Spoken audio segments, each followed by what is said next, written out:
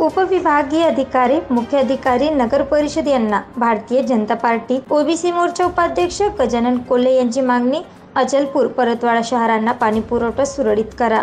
एकोणीस जुलै मंगळवार रोजी भारतीय जनता पार्टी ओबीसी मोर्चा उपाध्यक्ष गजानन कोल्हे यांनी नगर परिषद प्रशासक संदीप कुमार आपार मुख्याधिकारी राजेंद्र फालतेसोबत चर्चा करून अचलपूर परतवाडा जुळवा शहरातील पाणी पुरवठा करणारी मुख्य पाईपलाईन सापन नदी पात्रात तुटल्यामुळे चार ते आठ दिवस शहराला पाणी पुरवठा होण्याची शक्यता नाही तरी नागरिकांना पाण्याची व्यवस्था करावी अशी मागणी यावेळी ओबीसी मोर्चा उपाध्यक्ष गजानन कोल्हे दीक्षित महाराज विलासभाऊ सोळंकी आदी उपस्थित होते.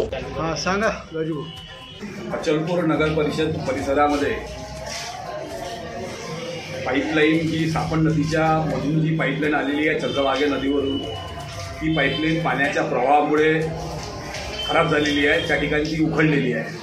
त्यामुळे अंदाजे तीन ते चार दिवस तिला सुधरवायला लागणार आहे जोपर्यंत सापन नदीचं पाणी कमी होत नाही तोपर्यंत.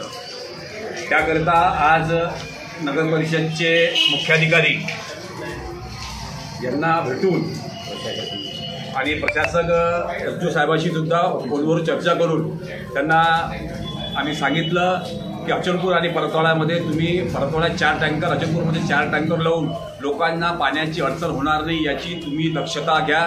व ज्या ज्या ठिकाणी खाजगी ट्यूबवेल आहेत किंवा नगरपालिकेच्या ज्या ठिकाणी ट्यूबवेल हँडपंप आहेत ते सुद्धा तात्काळ या एक दिवसामध्ये किंवा उद्यापर्यंत सुधरवून कारण की लोकांना पाण्यासाठी भटकाला लावू नका. जेणेकरून लोकांचा जो रोष नगरपालिके संदर्भामध्ये आहे तो कमी होईल. म्हणून त्या संदर्भामध्ये आपण तरतूद करा. त्या त्या प्रमाणामध्ये आपण पाण्यासंदर्भामध्ये लोकांसाठी तुम्ही बंदोबस्त करा म्हणून आता त्यांना आम्ही सांगून आलेलो आहे.